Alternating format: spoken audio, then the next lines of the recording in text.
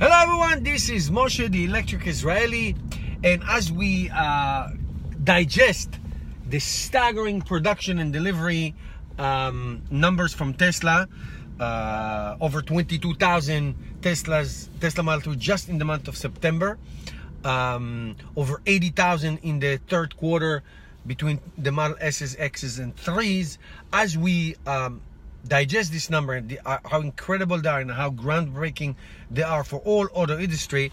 The question is how much does it cost to make a tesla?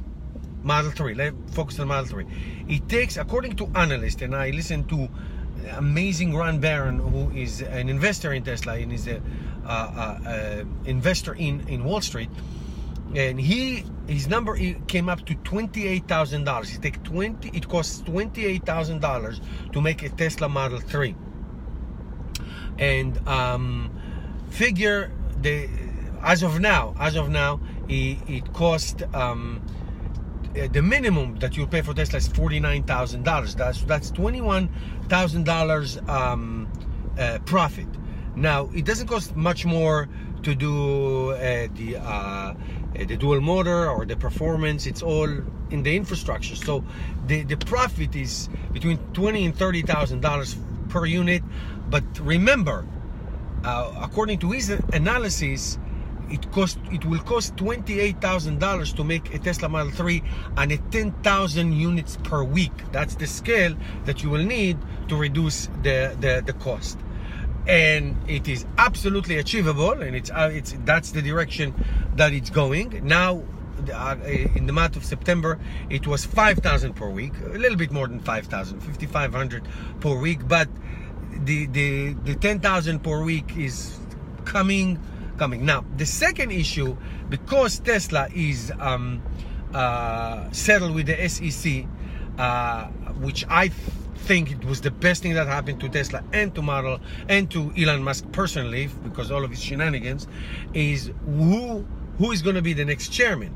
I heard about the former Boeing chairman or one of the executives from Ford and the chairman that they need, whoever that is, that the name doesn't matter, is a person who is expert in manufacturing and delivery. I mean, we're talking about Tesla asking volunteers to deliver cars. That's uh, so Tesla is no longer a startup technology technology company that uh, hand makes uh, uh cars and delivers them uh, uh, like that. It, that. That that's that's not that's done. That is over with. Now they have to be serious about um, hiring somebody who is an expert, an expert in manufacturing and delivery in the, at least for the next three years as Elon Musk is not allowed to be the chairman of the board, uh, just the CEO and everything else.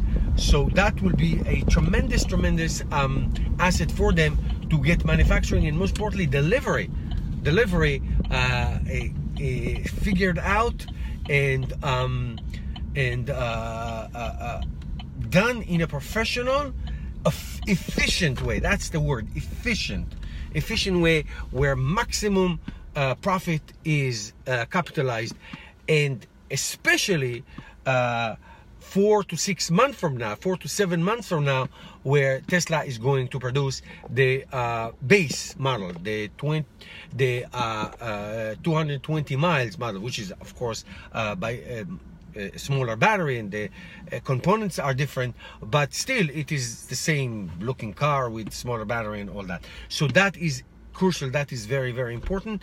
So uh, tell me, who do you think should be their their uh, CEO?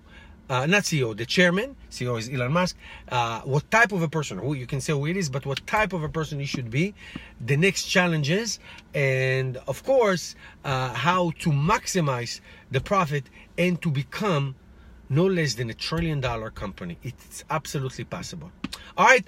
That's it. Let me hear your opinions, guys. Meanwhile, don't forget to subscribe to my channel. Help me change the world one electric car at a time. And I'll see you tomorrow with another episode.